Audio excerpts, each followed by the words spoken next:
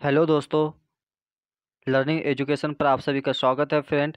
आज हम आपके लेकर आए हैं एमपी पुलिस कांस्टेबल परीक्षा 2021 के लिए मॉडल पेपर। जी हाँ दोस्तों, जैसे कि आप सभी जानते हैं कि अभी कुछ ही समय बाद एमपी पुलिस परीक्षा होने जा रही है, जिसके चलते यह एक इंपॉर्टेंट हो जाता है कि मॉडल पेपर को हम सॉल्व करें। इसी की दृष्टि से हमने मॉडल पेपर को तैयार किया गया है। आपको बता दूँ फ्रेंड, यहाँ इस सीरीज़ का पार्ट वन है।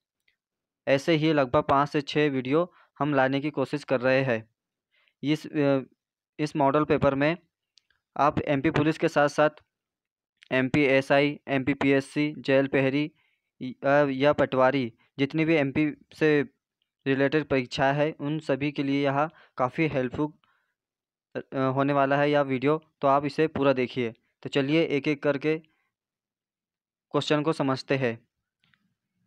क्वेश्चन को देखने से पहले आपको बता दूँ फ्रेंड, यदि आप हमारे चैनल लर्निंग एजुकेशन पर आप नए हो तो चैनल को, और अभी तक चैनल को सब्सक्राइब नहीं किया है तो चैनल को सब्सक्राइब करें और नोटिफिकेशन का बेल दबाना ना भूलें।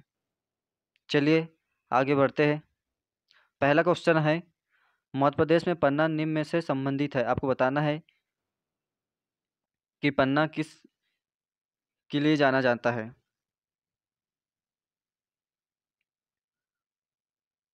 तो इसका राइट आंसर होगा फ्रेंड हीरा। मध्य प्रदेश हीरा के लिए जाना जाता है। देश में प्रथम स्थान है इसका।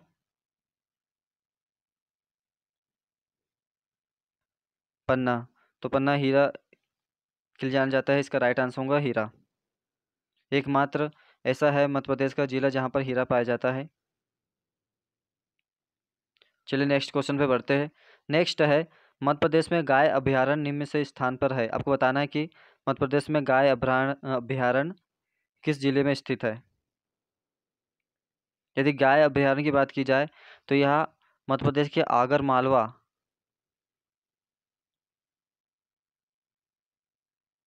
आगर मालवा में स्थापित है ये। सालरिया एक गाँव है। आगर मालवा का एक जिला का सालरिया तो वहाँ पर स्थित है ये गाय अभ्यारण्य यहाँ देश का प्रथम गाय अभ्यारण्य है, आपको ये भी याद रखना चाहिए। तो चलिए नेक्स्ट पे आते हैं। नेक्स्ट है मालवा उत्सव 2017 कहाँ आयोजित किया गया था? इसका राइट आंसर होगा फ्रेंड इंदौर में। यदि मालवा उत्सव की बात की जाए तो मालवा उत्सव तीन जगह पर आयोजित किया जाता है। पहला तो इंदौर, दूसरा है उज्जैन और तीसरा मांडू। ये तीनों शहर में आयोजित किया जाता है।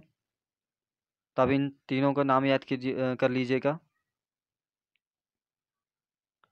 नेक्स्ट है सिंगाजी उस्मीत शक्ति योजना सॉरी परियोजना कहाँ यहाँ पर स्थित है, आपको बताना है इसमें से।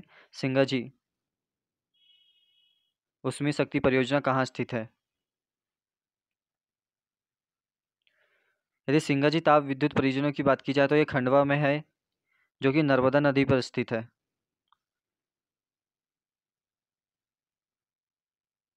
तो चलिए नेक्स्ट पे आते हैं। नेक्स्ट है, संयुक्त राष्ट्र महासभा के अध्यक्ष के रूप में चुने जाने वाले पहले भारतीय थे। आपको बता दूँ फ्रेंड हमने इसमें एमपी के साथ साथ उन प्रश्नों को भी शामिल किया गया है जो एमपी पुलिस की परीक्षाओं के लिए इम्पोर्टेंट है। तो इसका राइट आंसर होगा फ्रेंड विजय विजय लक्ष्मी पंडित। विजय लक्ष्मी पंडित ऐसी महिलाएँ थी, भारतीय महिलाएँ थी, जो संयुक्त राष्ट्र महासभा में अध्यक्ष चुने गई थी। तो इसका राइट आंसर होगा विजय लक्ष्मी पंडित। यह काफ़ी इम्पोर्टेंट क्वेश्चन है, काफ़ी बार पूछा गया है। चलिए नेक्स्ट क्वेश्चन में बढ़ते नेक्स्ट है हर्ष हर्षवर्धन। किससे पराजित पराजित हुए थे? आपको बताना है। किसके द्वारा पराजित हुए थे हर्षवर्धन? तो इसका राइट आंसर होगा फ्रेंड पुलिकेशन द्वितीय। यहाँ काफ़ी छात्रों को कंफ्यूज होता है। पुलिकेशन प्रथम है या द्वितीय है तो आप इसे द्वितीय करके याद कर लेना, क्योंकि पुलिकेशन द्वितीय तो जिसने इन्हें दक्षिण जीतने में काफ़ी मुश्किल बढ़ा दी थी और इनसे हार गए थे। तो इसका राइट आंसर होगा पुलिकेशन द्वितीय चलिए नेक्स्ट पे बढ़ते हैं। नेक्स्ट है, भारत के राष्ट्रपति का कार्यकाल। आपको बताना है कि भारत के राष्ट्रपति का कार्यकाल कितने वर्षों का होता है?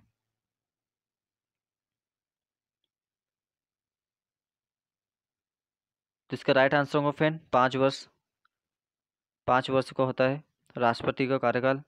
यदि इनकी शपथ की बात की जाए तो भारत का मुख्य न्यायाधीश, सुप्रीम कोर्ट के मुख्य न्यायाधीश इन्हें अपनी शपथ की पद की शपथ दिलाते हैं। यदि प्रधानमंत्री की भी बात की जाए तो पाँच साल का ही होता है। यदि देखा जाए तो वह लोकसभा में अपने बहुमत पे डिपेंड करता है कि बहुमत में है जब तक वो रहती। है वैसे सामान्यतः देखा जाए तो प्रधानमंत्री का भी पाँच वर्ष ही होता है। चलिए नेक्स्ट पे आते हैं। नेक्स्ट है, निम्न नदियों में से कौन सी नदी बंगाली खाड़ी में बहती है? आपको बताना है कौन सी नदी बंगाल में खाड़ी में बहती है?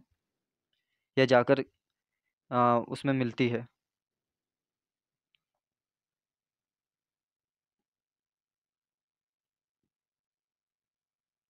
तो इसका राइट आंसर होगा ब्रह्मपुत्र। ब्रह्मपुत्र नदी जो है ब्रह्मपुत्र और गंगा दोनों ऐसी नदी है जो बंगाल की खाड़ी में गिरती है। यदि देखा जाए नर्मदा तो नर्मदा ऐसे भारत की अगर देखा जाए तो यह काफ़ी इम्पोर्टेंट है, क्योंकि भारत में एक ऐसी ही नदी है ये, कि जो पूर्व से पश्चिम की ओर बहती है और अरब सागर में गिरती है। और ऐसी ही दूसरी एक नदी है ताप्ती, जो मुल्ताई से निकलती है, बैतुल ज़िले की मुल्ताई से। वह भी नदी पूर्व से पश्चिम की ओर बहने वाली यह दूसरी नदी है और प्रथम है नर्मदा। तो अब इन दोनों को याद रखना, ये काफ़ी पूछा बार पूछा गया है क्वेश्चन कि नर्मदा नदी और ताप्ती नदी कौन सी नदी है जो पूर्व से पश्चिम की ओर बहती है? तो इसका राइट आंसर होगा नर्मदा और ताप्ती। और एक और नदी है माही। आ, इसके बारे में कभी कम पूछा जाता है पर नर्मदा और ता, ताप्ती दोनों इम्पोर्टेंट है। चलिए नेक्स्ट पे आते हैं। नेक्स्ट है वित्त आयोग को हर कितने वर्षों में नियुक्त किया जाता है? आपको बताना है। यदि वित्त आयोग की बात की जाए तो यह पाँच वर्ष पाँच वर्ष का कार्यकाल रहता है। यदि राज्यों में देखा जाए तो राज्यपाल वित्त आयोग का गठन करता है। यदि केंद्र की बात की जाए तो राष्ट्रपति राष्ट्रपति नियुक्त करता है वित्त आयोग को हर पाँच वर्ष के लिए। तो इसका राइट आंसर होगा पाँच वर्ष। नेक्स्ट पे आते हैं। इस आपको बताना है अशोक निम्न से संबंधित है। किस वंश से संबंधित है अशोक आपको बताना है? आपने काफ़ी बार पढ़ा होगा अशोक के बारे में। एक महान सम्राट कहा जाता है अशोक को। तो अशोक मौर्य वंश से संबंधित है। यदि एमपी से पार्टी ऑफ़िस से देखे अगर एमपी की तो इन्हें सांची का स्पोत सांची का स्पोत जो रायसन ज़िले में स्थित है, इन्हीं के द्वारा बनाया गया है, जो बौद्ध धर्म से संबंधित है। ऐसा माना जाता है कि अशोक ने भी जब अंतिम समय में बौद्ध धर्म धारण कर लिया था इनने। चलिए नेक्स्ट पे आते हैं। नेक्स्ट है, हिंडोला महल और जहाज़ महल, दोनों कहाँ स्थित है आपको बताना है? हिंडोला और जहाज़ महल।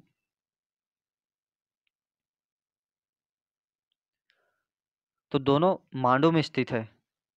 ये मांडू धार ज़िले में स्थित है। आपको ये भी याद करना है काफ़ी पूछा जा लिया जाता है कि मांडू कहाँ स्थित है तो धार में। और एक और पूछ लिया जाता है मंडी द्वीप मंडी द्वीप में काफ़ी कन्फ्यूज़न होता है कि मंडी द्वीप कहाँ है तो ये रायसन ज़िले में है, ना कि भोपाल में। काफ़ी लोग भोपाल समझते उसे, पर वो रायसन ज़िले में स्थित है। तो आप ये याद रखना और इसका राइट आंसर होगा मांडू। मांडू में काफ़ी महल स्थित है। तो इतना याद रखना। चलिए नेक्स्ट पे आते हैं। नेक्स्ट है, कौन सा राज्य मध्य प्रदेश से अलग होकर बना है? आपको बताना है, इनमें से कौन सा राज्य मध्य प्रदेश से होकर बना है?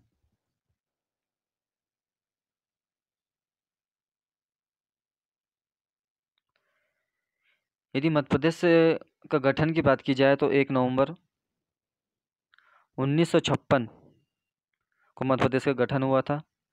जब साथ में जब गठन हुआ था, उन्नीस सौ छप्पन में तो छत्तीसगढ़ छत्तीसगढ़ ये दोनों राज्य एक ही में थे। लेकिन एक नवंबर 2000 को मध्य प्रदेश से छत्तीसगढ़ अलग हो गया। तो इसका राइट आंसर हो जाएगा छत्तीसगढ़। छत्तीसगढ़ ऐसा राज्य था जो मध्य प्रदेश से अलग होकर बना है। और वो भी 2000 में। ये भी काफ़ी बार पूछा गया है। क्वेश्चन यदि आप एमपी पुलिस की एग्ज़ाम दे रहे हो तो ये ऐसे क्वेश्चन देखने को अक्सर मिलेंगे।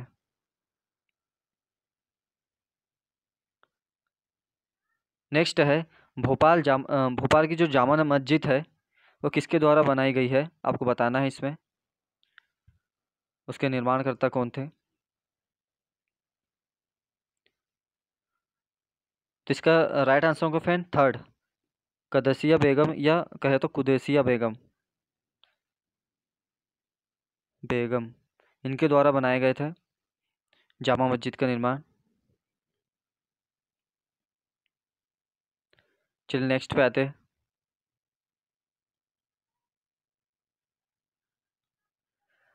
आपको इनमें से बताना है कि अंडमान निकोबार द्वीप समूह कहाँ स्थित है? अब किस महासागर या किस खाड़ी में स्थित है? आपको बताना है अंडमान निकोबार। भारत की अगर बात की जाए तो ऐसे। कहाँ स्थित है आपको बताना है? तो अंडमान निकोबार की बात की जाए तो बंगाल की खाड़ी, जो कि पूर्वी वाला इलाका है, दक्षिण पूर्वी कह सकते हैं एक तरह से, यहाँ अंडमान निकोबार है, जिसकी राजधानी पोर्ट ब्लेयर है। तो बंगाल की खाड़ी में, इसका राइट आंसर होगा बंगाल की खाड़ी में। और अरब सागर की बात की जाए तो दादर और नागर हवेली, दमन और द्वीप ये अरब सागर में स्थित है। और हिंद महासागर भारत के दक्षिण में स्थित है। और प्रशांत महासागर की बात की जाए तो प्रशांत महासागर पूर्व, पूर्वी वाले एरिया में आ जाता है, जो पूर्वोत्तर वाले क्षेत्र है, मिजोरम तिरुपा उस साइड में आता है हिंद प्रशांत महासागर। चलिए नेक्स्ट पे आते हैं। भारत के पहले मुसलमान राष्ट्रपति, या कहे तो मुस्लिम राष्ट्रपति कौन थे, आपको बताना है। मुस्लिम राष्ट्रपति की बात की गई है। तो इसका राइट आंसर होगा जाकिर हुसैन। जाकिर हुसैन जी पहले ऐसे व्यक्ति थे जो भारत के पहले मुस्लिम राष्ट्रपति बने। यदि भारत के राष्ट्रपति की बात की जाए तो राजेंद्र प्रसाद। राजेंद्र प्रसाद जी पहले थे, जिसका कार्यकाल बैक टू बैक दो बार रहा। काफ़ी समय तक के ये राष्ट्रपति बनने का रिकॉर्ड भी है इनके पास। और यदि वर्तमान में बात की जाए तो रामनाथ कोविंद। रामनाथ कोविंद जी है, भारत के राष्ट्रपति, जो चौदहवें क्रम के हैं। आप भी क्रम भी याद कर लीजिएगा, कभी क्रम भी पूछ लिया जाता है। तो ये चौदहवें क्रम के हैं राष्ट्रपति रामनाथ कोविंद जी। और देखिए तो मोहम्मद हिदतुल्ला, ये है मध्य प्रदेश के प्रथम कह दो उच्च न्यायालय उच्च न्यायालय के मुख्य न्यायाधीश थे मोहम्मद हिदतुल्ला जो कि मध्य प्रदेश से ए पी जे गुलाम भी प्रधानमंत्री जी राष्ट्रपति बन चुके हैं। चलिए इतना काफ़ी है इसके लिए। अगले क्वेश्चन पर बढ़ते हैं। अगला है, भारत का संविधान सभा के द्वारा अपनाया गया था। या कहे तो भारत के संविधान को कब अपनाया गया था, आपको बताना है इसमें से? पंद्रह अगस्त उन्नीस सौ पैंतालीस, एक जनवरी उन्नीस सौ पचास छब्बीस जनवरी उन्नीस सौ पचास या छब्बीस नवंबर उन्नीस सौ उनचास। तो इसका राइट आंसर होगा फ्रेंड फोर्थ क्योंकि छब्बीस जनवरी छब्बीस नवंबर उन्नीस सौ उनचास को संविधान को अंगीकृत गया था या अपनाया गया था। काफ़ी कंफ्यूज होता है, क्योंकि छब्बीस जनवरी 1950 को भी कई बार लोग बाग लगा देते हैं छब्बीस जनवरी उन्नीस सौ पचास लेकिन छब्बीस जनवरी 1950 को लागू हुआ था संविधान न कि अपनाया गया था। तो छब्बीस नवंबर उन्नीस सौ उनचास को अपनाया गया था ये याद रखना आप। चलिए नेक्स्ट क्वेश्चन पढ़ते हैं। नेक्स्ट है पंचायती राज की संतुति निम्न से द्वारा किसके द्वारा की गई थी? आपको बताना है पंचायती राज जो आ, भारत में चला है पंचायती राज्य का। वो किसके द्वारा, किस कमेटी या किस समिति के द्वारा सिफारिश की गई थी इसकी?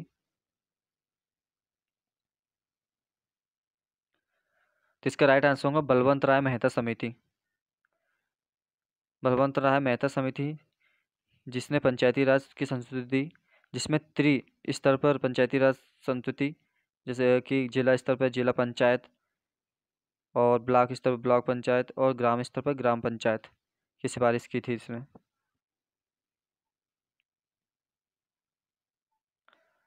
नेक्स्ट पे आते हैं। अगला है देश में से कौन सा भारत के साथ सीमा साझा नहीं करता? आपको बताना है कि भारत के देश के साथ कौन सा ऐसा देश है जो आ, सीमा साझा नहीं करता है या नहीं पूछा है? ये अपनी सीमा को नहीं छूता है।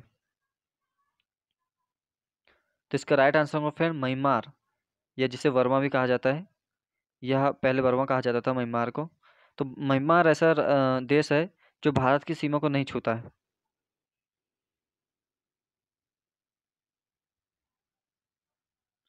बाकी ये देखा जाए तो नेपाल और भूटान दोनों क्षेत्र तो इसका राइट आंसर होगा म्यांमार।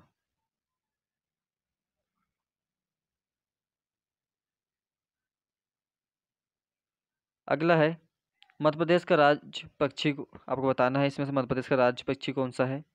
यहाँ राज मध्य प्रदेश का पूछा है, ना कि भारत का।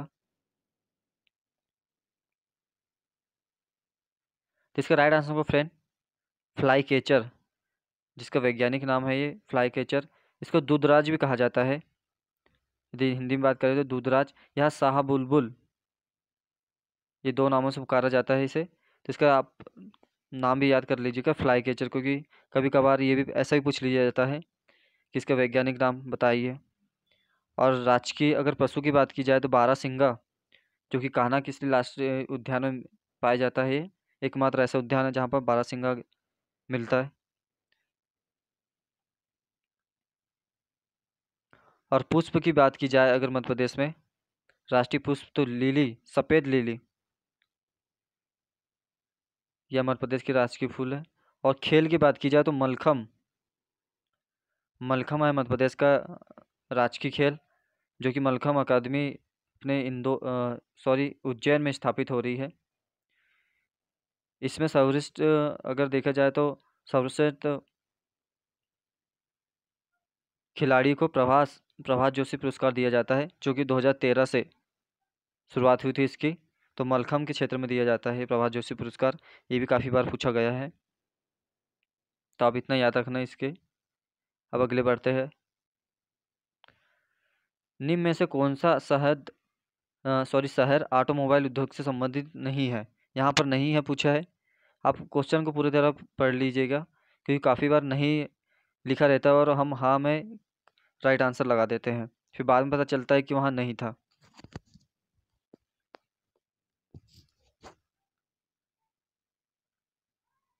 तो इसका राइट आंसर होगा ईटानगर। ईटानगर ऐसा क्षेत्र है जहाँ पर ऑटोमोबाइल से संबंधित नहीं है, लेकिन पीतमपुर, चेन्नई तो नीचे हो जाता है, नीचे वाला क्षेत्र तमिलनाडु, चेन्नई, पुणे जो महाराष्ट्र में है, ये भी ऑटोमोबाइल क्षेत्र है। तो पीतमपुर, ये है मध्य प्रदेश, जो कि धार ज़िले में स्थित है। इन दो से काफ़ी पास में है ये, लगभग तीस से चालीस किलोमीटर पीतमपुर। ऑटोमोबाइल के क्षेत्र के जाना जाता है तो आप पीतमपुर याद रखना खासकर। चलिए नेक्स्ट पे बढ़ते हैं। नेक्स्ट है मध्य प्रदेश में गुजरने वाली महत्वपूर्ण अक्षांश है आपको बताना है। क्या उधर क्या गुजरती है मध्य प्रदेश से? मकर रेखा कर्क रेखा आर्किटिक व्रत या भूमध्य रेखा? यदि इस प्रश्न की बात की जाए तो कर्क रेखा। कर्क रेखा मध्य प्रदेश को बीचों बीच से होकर गुजरती है।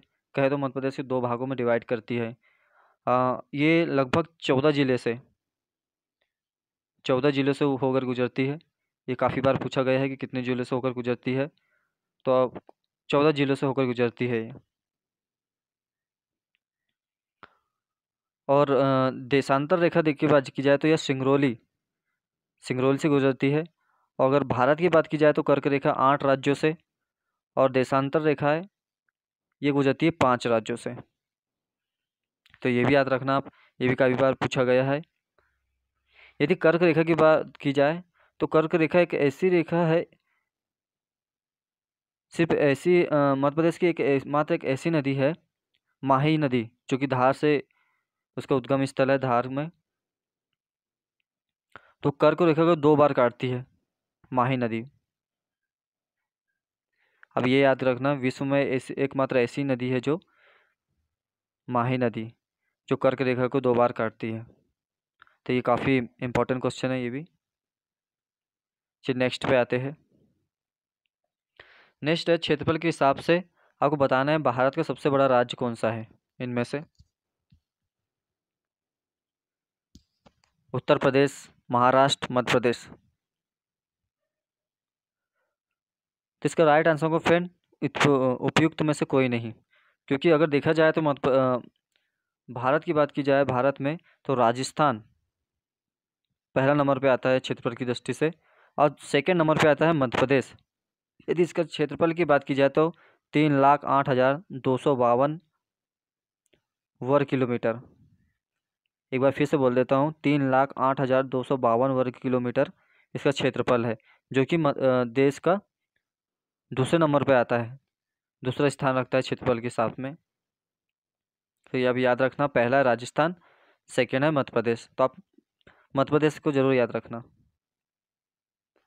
चलिए नेक्स्ट पे बढ़ने से पहले आपको बता दूँ फ्रेंड हमारे द्वारा अभी तक जितने भी जी आई टैग मिले हैं वस्तुओं को, उनका एक वीडियो बना के हमने अपलोड कर दिया गया है। कर दिया गया यदि आपने उस वीडियो को नहीं देखा है तो आप हमारे प्ले लिस्ट में जाकर दे सकते हैं। उसमें दो हज़ार इक्कीस तक पूरे अपडेटेड वीडियो है जो कि एक किसी भी एग्ज़ाम के लिए इंपॉर्टेंट है तो आप उस वीडियो को ज़रूर देखिए। इसमें मध्य प्रदेश की भी काफ़ी जी आई टेक मिल जैसे कि कड़कनाथ का मुर्गा जो कि झाबुआ ज़िले से झाबुआ ज़िले में मिला गया है ये काफ़ी इम्पोर्टेंट है। ऐसे ही क्वेश्चन आपको इसमें मिलेंगे तो आप उस वीडियो को ज़रूर देखिए। चल नेक्स्ट पे बढ़ते हैं। ओरछा एक शाही कस्बा है जो किस नदी के किनारे बसा है, आपको बताना है? ओरछा।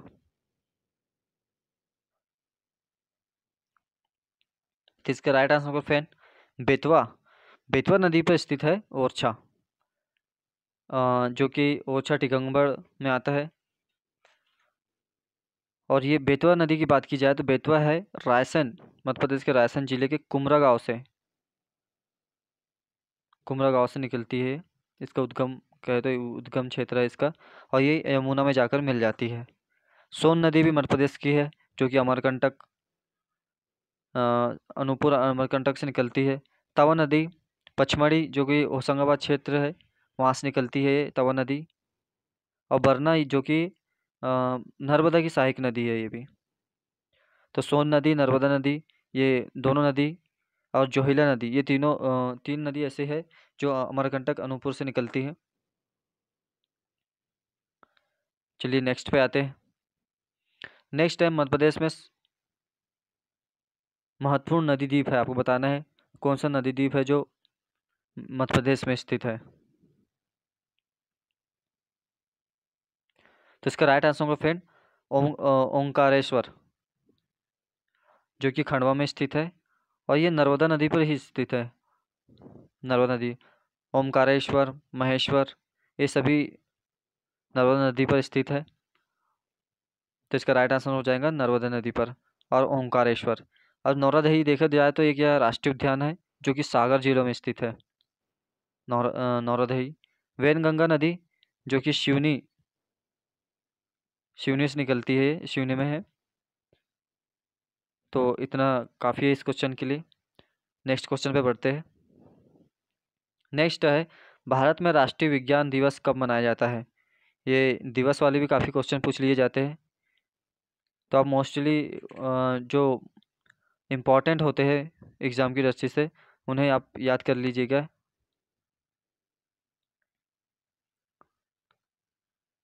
तो इसका राइट आंसर होगा फ्रेंड अट्ठाईस फरवरी। अट्ठाईस फरवरी को मनाया जाता है राष्ट्रीय विज्ञान दिवस। और तीस जनवरी को देखा जाए तो एक कुष्ठ रोग, कुष्ठ निवारण दिवस मनाया जाता है। और एक दिसंबर की बात की जाए तो एड्स दिवस। एड्स दिवस मनाया जाता है एक दिसंबर को। तो अब इस क्वेश्चन से इतना काफ़ी है। अब इन्हें याद कर लीजिएगा। एक दिसंबर को एड्स दिवस, छब्बीस जनवरी छत्तीस जनवरी को कुष्ठ निवारण दिवस और अट्ठाईस फरवरी को विज्ञान दिवस। चलिए नेक्स्ट पे आते हैं। शिवपुरी में माधव राष्ट्रीय पार्क को इस वर्ष में, किस वर्ष में स्थापित किया गया था? शिवपुर शिवपुरी में स्थित है जो माधव राष्ट्रीय उद्यान। उसकी स्थापना किस वर्ष की गई थी, आपको बताना है इनमें से?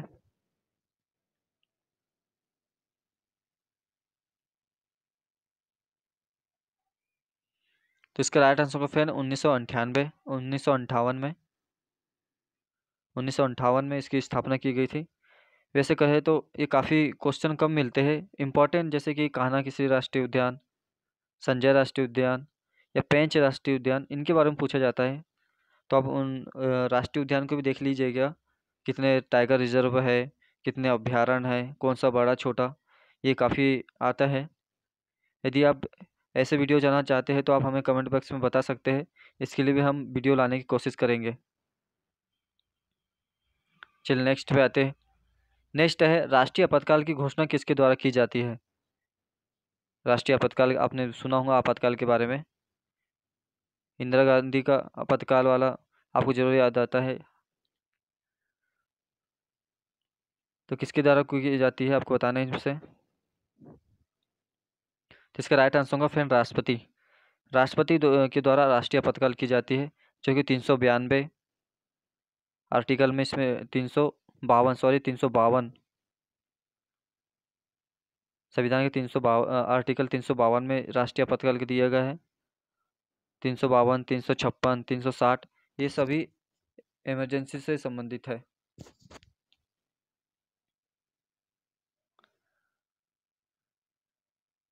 अगला है, भोपाल में पैदा हुए। भारत के नौवें राष्ट्रपति का नाम बताइए। इसमें आपको बताना है कि को, ऐसे राष्ट्रपति का नाम बताइए जो भोपाल में पैदा हुए हैं। फरीकुद्दीन अली अहमद, प्रतिभा पाटिल शंकर दयाल शर्मा कैलाश नाथ काटूज। इनमें से कौन है जो कि भारत के राष्ट्रपति हुए? तो इसका राइट आंसर होगा फ्रेंड शंकर दयाल शर्मा। शंकर दयाल शर्मा ऐसे राष्ट्रपति जो भोपाल में पैदा हुए थे और भारत के नौवे राष्ट्रपति बने। तो ये भी याद रख लेना। और यदि देखा जाए तो इसके, इस क्वेश्चन से आपको बता दूँ कि अटल बिहारी वाजपेयी जी भी जो प्रधानमंत्री बने थे वो ग्वालियर के रहने वाले थे वो भी तो अब ये भी याद रख लीजिएगा। ये भी कई बार पूछा गया है क्वेश्चन चलिए नेक्स्ट पे आते हैं। नेक्स्ट है अशोक स्तंभ, जिसका शेर भारत सरकार द्वारा द्वारा राष्ट्रीय प्रतीक के रूप में अपनाया जाता है। ये कहाँ पर स्थित है? जो स्तंभ आप देखते होंगे, जो शेर ऐसे रहते हैं, चार शेर, वो कहाँ से लिया गया है? जो अशोक द्वारा स्थापित किया गया था। ये भी पूछ लिया जाता है कभी कभार तो इसका राइट आंसर होगा फ्रेंड सारनाथ। सारनाथ में स्थित है, जो कि अशोक द्वारा मौर्य वंश बनाया गया था ये। तो इतना याद रख लेना आप। चलिए अगले क्वेश्चन पर बढ़ते हैं। अगला है उमरिया। उमरिया में स्थित अभ्यारण्य। उमरिया में कौन सा अभ्यारण्य स्थित है? आपको बताना है इसमें। माधोगढ़, सोन, घाटी गाँव, कहना।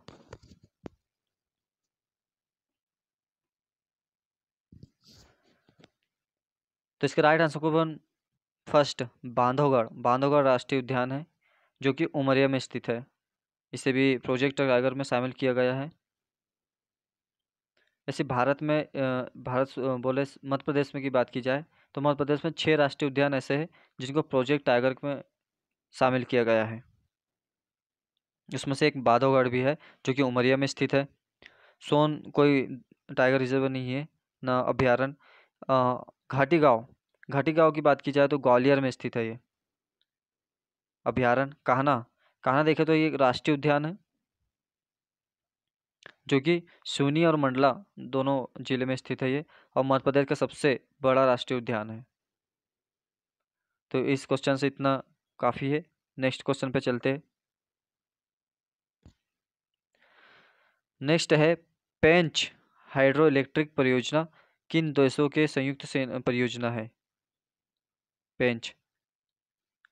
किन दो राज्यों के आप राज्य देख सकते हैं? कि पेंच हाइड्रो इलेक्ट्रिक परियोजना किन राज्यों से संबंधित है? दो राज्य से।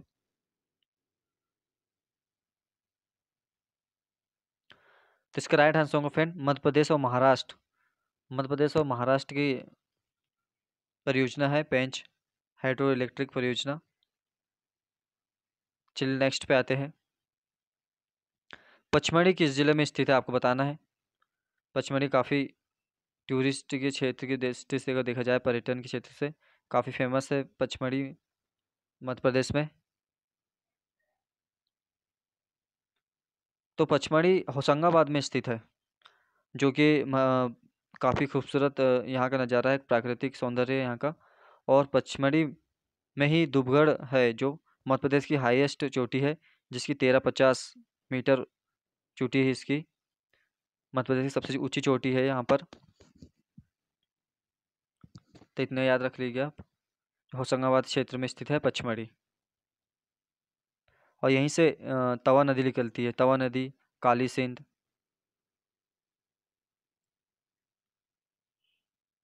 चलिए नेक्स्ट पे आते हैं। भारतीय सैन्य अकादमी किस शहर में स्थित है? आपको बताना है, सैन्य अकादमी आई एम ए कहाँ स्थित है? यदि सैन्य अकादमी की बात की जाए तो देहरादून देहरादून में स्थित है ये भारतीय सैन्य अकादमी। तो इसका राइट आंसर होगा देहरादून। नेक्स्ट पे आते हैं। संयुक्त राष्ट्र महासभा के अध्यक्ष के रूप में चुने जाने पहले भारतीय। ये रिपीट होगा क्वेश्चन, इसका राइट आंसर था विजय लक्ष्मी पंडित, जो कि पहली ऐसी महिला थी जो अध्यक्ष चुनी गई संयुक्त राष्ट्र महासभा की। नेक्स्ट है भारतीय रेलवे ने मध्य प्रदेश के किस रेलवे स्टेशन का प्रबंध करने के लिए बंसल ग्रुप के साथ एक अनुबंध किया गया है? ये करंट के भी क्वेश्चन है और देखा जाए तो जीके का भी क्वेश्चन है। क्योंकि एक, भारत का एकमात्र ऐसा रेलवे स्टेशन है जिसे किसी प्राइवेट के हाथों में सौंपा गया है। और वो मध्य प्रदेश का ही है। तो इनमें से आपको बताना है। तो इसका राइट आंसर होगा हबीजगंज हबीजगंज रेलवे स्टेशन ऐसा है जो बंसल ग्रुप के हाथों में सौंपा गया है। एक तरह से देखा जाए तो प्राइवेटेशन है ये। सरकार का इस पर अंतर्राष्ट्रीय स्तर पर इसे तैयार किया जा रहा है। तो हबीजगंज स्थित है। हबीजगंज रेलवे स्टेशन है, जिसको प्राइवेट के हाथ में सौंपा गया है। आप इतने याद कर लीजिएगा। भोपाल का है ये।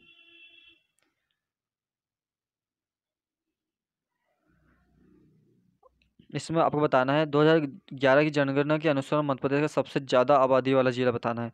किस मध्य प्रदेश के किस ज़िले में सर्वाधिक जनसंख्या आपको बताना है?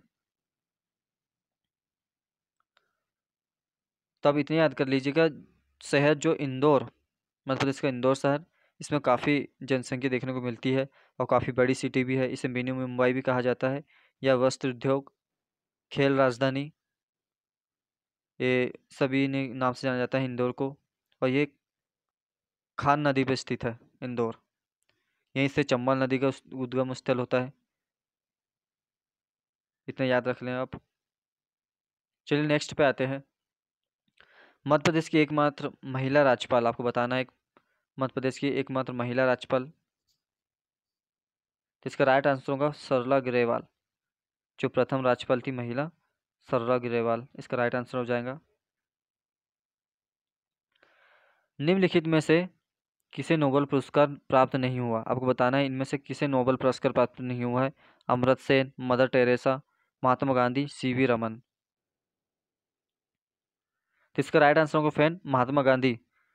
काफ़ी लोगों को कन्फ्यूज़न होता है कि महात्मा गांधी को नोबल पुरस्कार मिला कि नहीं मिला। पर इसका आपको बता दूँ कि नहीं, इन्हें नोबल पुरस्कार नहीं दिया गया काफ़ी बार नॉमिनेट हुए ये।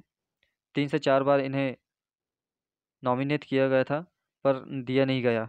यदि अमृत सेन की बात करें तो उन्नीस के आसपास इन्हें, बयानवे या अंठानवे के आसपास इन्हें अर्थशास्त्र के क्षेत्र में नोबल पुरस्कार मिल दिया गया है। मदर टेरेस को 1980 में शांति के क्षेत्र में नोबल पुरस्कार दिया गया है और सी बी रमन 1928 में इन्हें फिजिक्स के क्षेत्र में या भौतिकी क्षेत्र भौतिकी क्षेत्र में दिया गया था नोबल पुरस्कार, लेकिन महात्मा गांधी को नहीं दिया गया। तो आप याद रख लेना। अगला है लक्षद्वीप। कहाँ स्थित है आपको बताना है? बंगाल की खाड़ी में, प्रशांत महासागर में, हिंद महासागर में अरब सागर में? ऐसा ही क्वेश्चन अभी अंडमान निकोबार के लिए आया था। तो आप एक बार महासागर, भारत के आसपास वाले पड़ोसी राज्यों के बारे में एक बार देख लेना। ऐसे क्वेश्चन मिल जाते हैं कभी कभार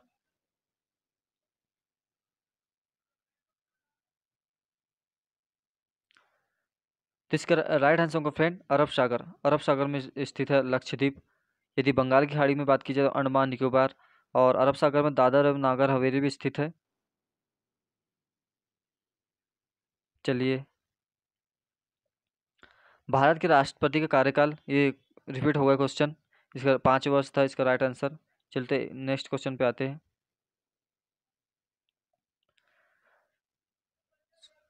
सशस्त्र सेना ध्वज किस तारीख को मनाया जाता है? आपको बताया था दिवस वाले क्वेश्चन एक क्वेश्चन देखने को मिल ही जाता है। यदि आप दिवस वाले क्वेश्चन के बारे में जानना चाहते हैं या आपके दिवस वाले क्वेश्चन के लिए एक वीडियो चाहिए तो आप कमेंट बॉक्स में बता सकते हैं। आपके कमेंट के ऊपर हम आप वीडियो बना लेंगे, दिवस के ऊपर भी एक वीडियो तो आप उसे ज़रूर बताएँ। तो सात सितंबर को सशस्त्र सेना दिवस मनाया जाता है। चलिए नेक्स्ट क्वेश्चन पे आते हैं। नेक्स्ट है, मध्य प्रदेश को संपूर्ण दर्जा कब दिया गया? संपूर्ण राज्य का दर्जा कब दिया गया?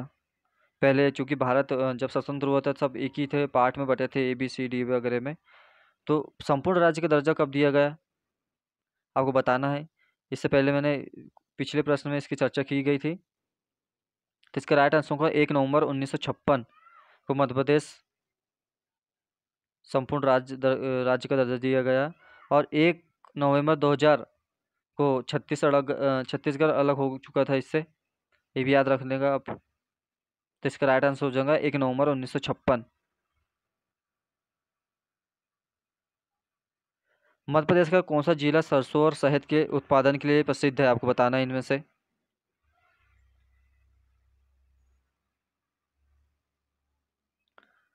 तो इसका राइट आंसर होगा मुरैना, जो कि मध्य प्रदेश के उत्तर में स्थित है भिन्न मुरैना वाला क्षेत्र।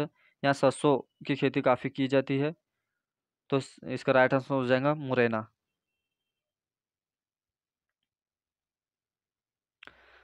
अगला है, उन्नीस सौ चौरासी में भोपाल गैस त्रासदी से रिसने वाली गैस कौन सी थी? जब उन्नीस सौ चौरासी में तीन से चार दिसंबर की बात है, उन्नीस सौ चौरासी को जब गे भोपाल में एक कारखाना में एक गैस ब्लास्ट हुआ था उसमें से कौन सी गैस निकली थी जिसमें काफ़ी नुकसान हुआ था और काफ़ी लोग यहाँ पर मारे जा, जा चुके थे? वो कौन सी गैस थी? आपको बताना है इसमें से। तो इसका राइट आंसर होगा मिथाइल आइसोसाइनेट। मिथाइल आइसोसाइनेट थी जिसकी वजह से लोगों का दम घुट गया और वो उनकी मृत्यु हो गई। तो ये काफ़ी क्वेश्चन एमपी से चाहे या अदर स्टेट में किसी भी स्टेट में की परीक्षा हो या बड़ी से बड़ी परीक्षाओं में यह अक्सर पूछा गया है, क्योंकि यह काफ़ी भयानक थी या जो ब्लैक ब्लास्ट। तो इसके याद रखना काफ़ी इंपॉर्टेंट क्वेश्चन है, वेरी वेरी इंपॉर्टेंट क्वेश्चन है ये। मिथाइल आइसोसाइनाइड, आप इतना याद रख लीजिए। नेक्स्ट है ग्रैंड स्लैम। ग्रैंड स्लैम किस खेल से संबंधित है, आपको बताना है? या किस खेल से में दिया जाता है ग्रैंड स्लैम प्रतियोगिता? तो इसका राइट आंसर होगा टेनिस। टेनिस में दिया जाता सॉरी, दिया जाता है बोल रहे, टेनिस की प्रतियोगिता है ग्रैंड स्लैम।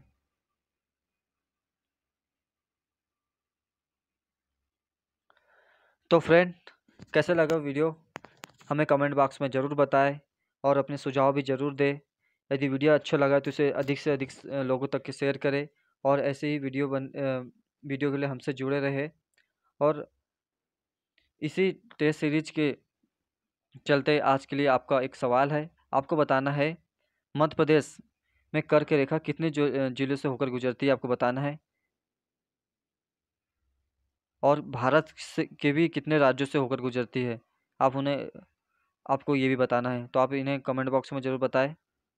और वीडियो अच्छा लगा हो तो इसे अधिक से अधिक शेयर करें।